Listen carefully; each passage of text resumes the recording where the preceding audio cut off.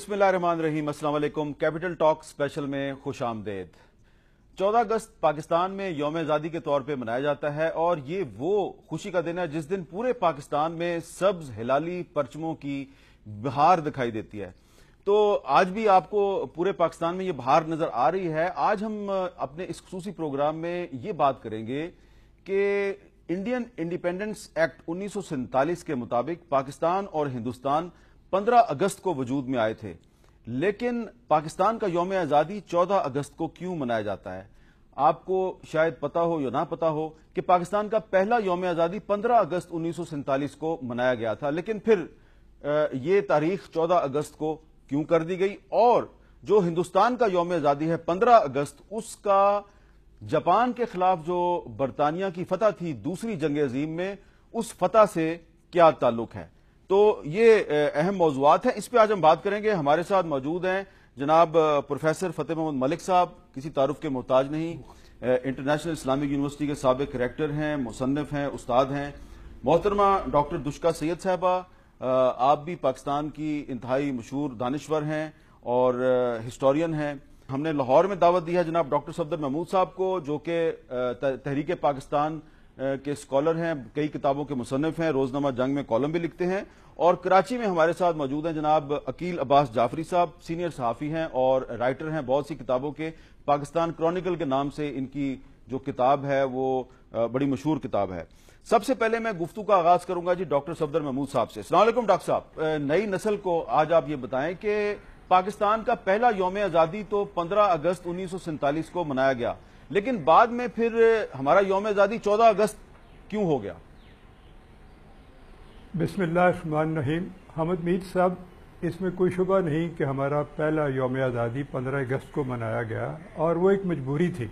मजबूरी ये थी कि चूँकि पाकिस्तान 14 और 15 की दरमियानी शब को 12 बजे मार्ज वजूद में आया हम्म। इसलिए पहला योम आज़ादी बहरहाल 15 अगस्त को बनता था। जी। और हमारे लिए ये एक बड़ा मुबारक लम्हा था चूँकि 14 और 15 दरमियानी शब ललतुल कदर थी तो सताईसवीं रमज़ान थी। और अगले दिन 15 अगस्त को जुम्मा मुबारक था। इसलिए हमारे लिए ये एक बड़ा मुबारक मौका भी था। और हमारे पास कोई चॉइस भी नहीं था क्योंकि पाकिस्तान रात 12 बजे मार्ज वजूद में आया। 11 बजे ऑल इंडिया रेडियो की ट्रांसमिशन बंद हो गई। 12 बजने से चंद मिनट पहले ये ऐलान हुआ कि अब एक अहम ऐलान होगा। जहूर आजर साहब ने अंग्रेज़ी में ऐलान पढ़ा। वो 12 बजने में भी एक दो मिनट पहले का ऐलान है और 12 बजे पाकिस्तान ब्रॉडकास्टिंग सर्विस शुरू हो गई जिसका मतलब यह है कि ये दरमियानी शब्द थी। चुनाचे हमारे पास कोई चॉइस था ही नहीं। लेकिन चूँ लेकिन चूँकि ये 14 और 15 की दरमियानी शब्द थी इसलिए हमारे पास ये ऑप्शन थी कि हम हम योम आज़ादी 14 को कर सकें या 15 को कर सकें। ये कहना कि 14 अगस्त को क्यों मनाया गया, आप जानते हैं कि उनतीस जून को पाकिस्तान की काबीना ने लियाकत अली खान की सरबराही में ये फैसला किया कि इस साल से हमेशा के लिए, आइंदा के लिए योम आज़ादी 14 अगस्त को मनाया जाएगा। जुलाई में उन्होंने हज़रत कायद अजम से अप्रूवल ली और उसके बाद एक सरकारी नोटिफिकेशन जारी कर दिया गया और उसके बाद से आज तक योम आज़ादी चौदह अगस्त को ही मनाया जाता है। हम्म। अच्छा लेकिन इसकी वजह, चौदह अगस्त की वजह क्या है? बात यह है कि मुझे इस पर थोड़ा सा एक और नुकता नज़र एक और एंगल से तरह देखने की इजाज़त दीजिए। आपके ये जेन में बात रहे कि माउंट बैटन ने 14 अगस्त को पाकिस्तान की दस्तूर असम्बली में पावर की मुंतकली ट्रांसफ़र ऑफ़ पावर का ऐलान कर दिया था। जी। और उसी रोज दो रोज पहले यानी 12 बल्कि 11 को आई एम सॉरी 11 अगस्त को पाकिस्तान के झंडे की मंजूरी भी कॉन्स्टिट्यूंट असेंबली से लियात अली खान साहब ने ले ली थी। चौदह अगस्त को पूरे मुल्क में पाकिस्तान के झंडे लहराए गए। पाकिस्तान की पार्लियामेंट में झंडा चौदह अगस्त को लहराया गया जिसमें हज़रत कायद के साथ मौलाना शबीर उस्मानी शामिल हुए। चौदह अगस्ती को पाकिस्तान का झंडा मशरकी पाकिस्तान ढाका में लहराया गया। चौदह अगस्ती को तमाम सरकारी दफातर पर जिसमें बर्री बहरी फौजी दफातर भी शामिल थे पाकिस्तान का झंडा लहराया गया। गोया एक तरह से हमने तो आज़ादी का ऐलान चौदह अगस्ती को कर दिया था। ठीक है। अब ये चूँकि बरतानवी हुकूमत का मौकफ था बरतानवी हुकूमत का एक हुक्म था उनके उनके अरेंजमेंट का एक हिस्सा था इंडिपेंडेंस एक्ट का एक हिस्सा था कि चौदह और पंद्रह अगस्त के दरमियानी शब को ऐलान किया जाएगा या ट्रांसफ़र ऑफ़ पावर की जाएगी तो वो एक मजबूरी थी। लेकिन वो हमारे लिए बेहतर था क्योंकि वो सताइसवीं रजदान थी लहलतुल कदर की रात ठीक है ठीक है। जी फतेह मोहम्मद मलिक साहब 14 अगस्त उन्नीस को दस्तूर साज असम्बली का इजलास हुआ और उस असम्बली के इजलास से कायद अजम के खिताब का ज़िक्र हुआ। तो 14 अगस्त उन्नीस को जो कायद अजम मोहम्मद अली जना का खिताब था दस्तूर साज असम्बली से उनके खिताब से पहले माउंट बैटन ने भी एक खिताब किया था। तो कायद अजम का जो उस दिन खिताब था उसकी क्या अहमियत है? आ, उसकी बहुत बड़ी अहमियत है। हमारी तारीख का वो पहला ही नहीं अब तक सबसे यादगार खिताब है। जी।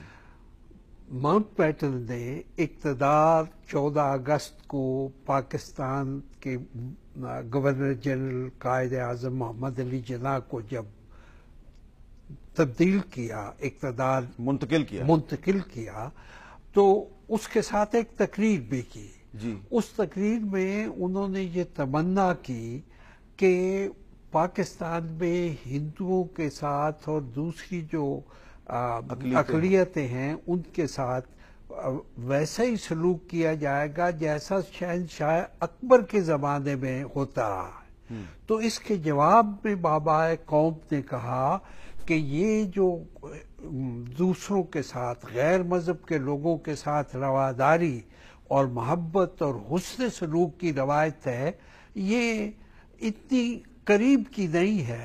ये तेरह सौ साल पहले मदीना तो नबी से शुरू होती है। नबी करीम सल्लल्लाहु अलैहि वसल्लम ने रवादारी का सबक हमें तेरह सौ साल पहले दे पहले दे ये तो किताब है।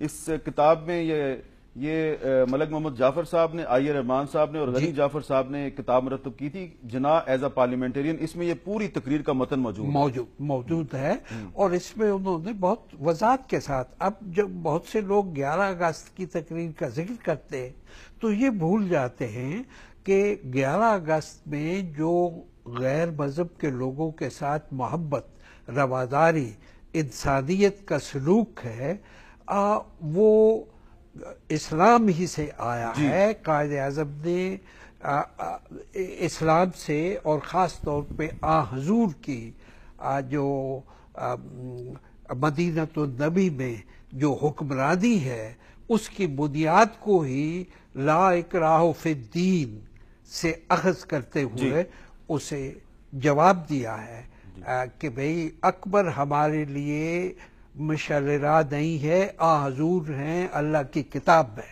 जी, बिल्कुल ठीक है। डॉक्टर दुष्का सैयद साहबा आप ये बताएँ हमें कि कायद अजम मोहम्मद अली जना को ऑफ़र की गई थी कि आप यूनाइटेड इंडिया को डिवाइड ना करें, बल्कि हिंदुओं के और मुसलमानों के आप मुश्तर वज़ीर आज़म बन जाएँ। तो वो क्यों नहीं बने? उन्होंने ये ये पेशकश क्यों ठुकरा दी?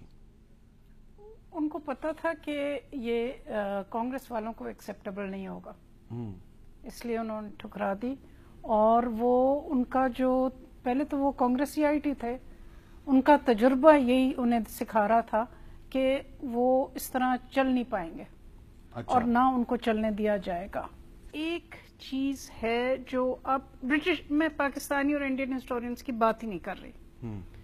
जो अब ब्रिटिश हिस्टोरियंस उनमें मॉडर्न डे कंसेंसस इस बात पे हो गया है कि जो पार्टीशन माउंट बैटन ने किया वो बिल्कुल फियास्को था।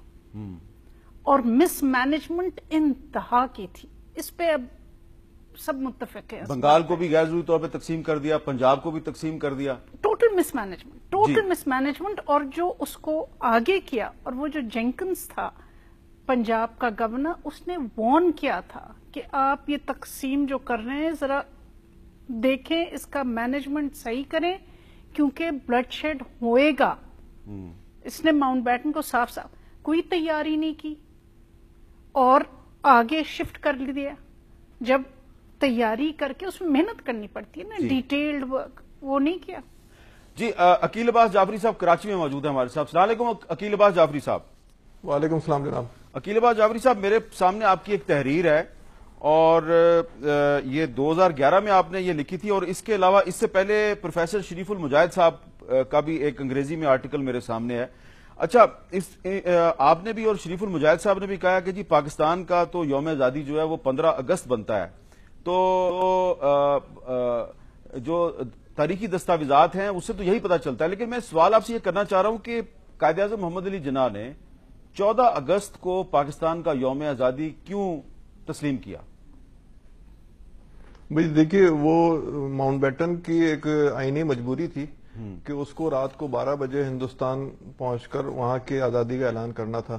तो अगर वो बैक वक्त उसके लिए मुमकिन नहीं था कि वो उस वक्त पाकिस्तान में भी मौजूद हो और हिंदुस्तान में भी मौजूद हो तो ये और अगर वो हिंदुस्तान के बाद ये फैसला करता कि हम पाकिस्तान का ऐलान बाद में करेंगे तो वो उस वक्त पाकिस्तान हिंदुस्तान का आईनी तौर पर हिस्सा बन चुका होता। तो इसलिए कायद अजम ने कानूनी तौर पर और आईनी तौर पर ये एक शिक निकाली कि माउंट बैटन जो है वो तेरह अगस्त को पाकिस्तान आए और चौदह अगस्त को सुबह नौ बजे उन एक तकरीब मुनद की जाए जिसमें माउंट बैटन जो है वो इंतकाल इकतदार की ऐलान करें। और माउंट बैटन की जो तकरीर है उसमें बिल्कुल वाज तौर पर लिखा मौजूद है तो उनकी तकरीर में कि आज रात 12 बजे आप एक आज़ाद ममलिकत होंगे और उसके बाद कायद अजम ने भी तकरीर की जवाब में और तीन बजे जो है माउंट बैटन यहाँ से अपने तैयारे के ज़रिए दिल्ली चले गए जहाँ रात को 12 बजे उनको उस तकरीब में शिरकत करनी थी कि जो फ्रीडम एट मिड नाइट के नाम से भी मरूफ है और मतलब हिंदुस्तान का जो योम ऐलान आज़ादी माना जाता है हम्म। और इसका फैसला असल में 18 जुलाई को हुआ था कि 15 अगस्त को ये दोनों ममलिकतें वजूद में आएँगे, जो ट्रांसफ़र ऑफ़ पावर में मौजूद है। और 24 जुलाई को ये डॉक्यूमेंट कायद आज़म के पास आया चौधरी मोहम्मद अली के ज़रिए, और कायद आज़म ने इसकी मंजूरी दी। तो ये तो फैसला बिल्कुल तयशुदा था कि 15 अगस्त की रात को 12 बजे दो ममलिकतें वजूद में आएँगी।